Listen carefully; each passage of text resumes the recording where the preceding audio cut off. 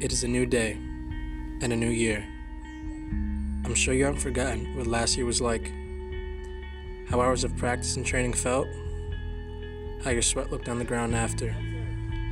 I'm sure you remember your accomplishments. Two consecutive MAAC championship wins. We may have been undefeated at home, but it is those failed attempts that keep us coming back. These things are etched into our minds and carved into our hearts.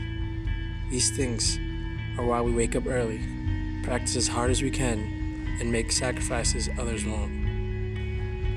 We have tried to run, throw, and hit harder than anyone else we know.